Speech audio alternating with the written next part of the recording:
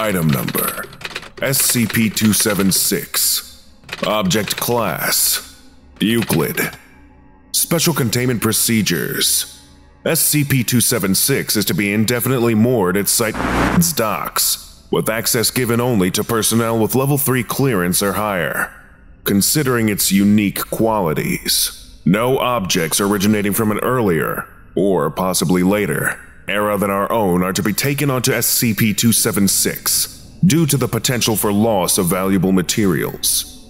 Regular maintenance is to be carried out after SCP 276 has been made incapable of operation due to containment issues.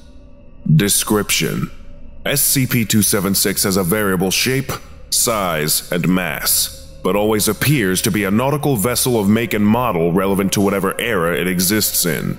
Currently, it takes the form of a large sailing schooner, 19.93 meters or 304.9 feet in length, and weighing 1,360 metric tons.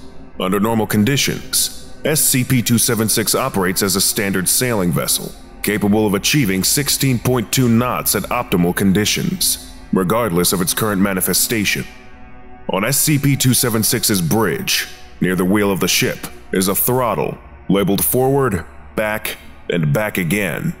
Usage of any of these functions will activate SCP-276's ability to travel through time, while taking anyone currently on the vessel as well.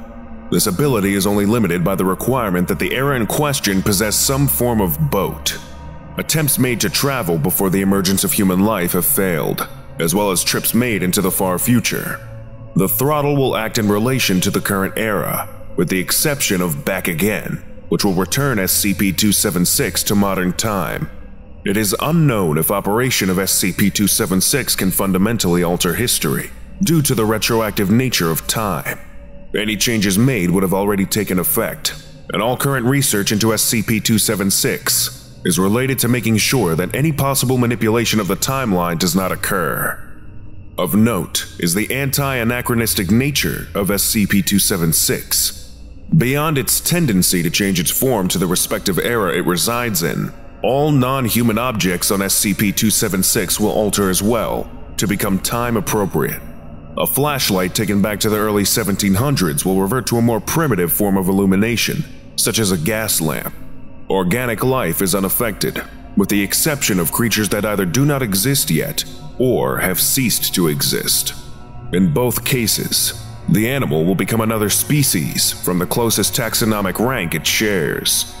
Dead persons brought to modern times are similarly affected, becoming an entirely different person. Genealogical testing reveals that the subjects are data expunged. Note SCP 276 is not, I repeat, not to be used as a recreational device especially involving exploitation of SCP-276's temporal qualities, temporarily restricting access to Level 4 personnel until further notice. Dr. Addendum. As of the newly formed Mobile Task Force Rho 5, Stitch in Time is to be assigned to and given full security clearance involving use of SCP-276.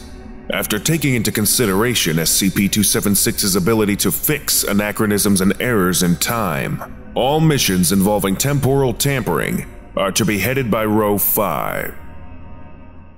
Lesson complete. If you missed the previous orientation, go watch SCP-275, Iron Skin, right now. Or for the complete course, watch this playlist.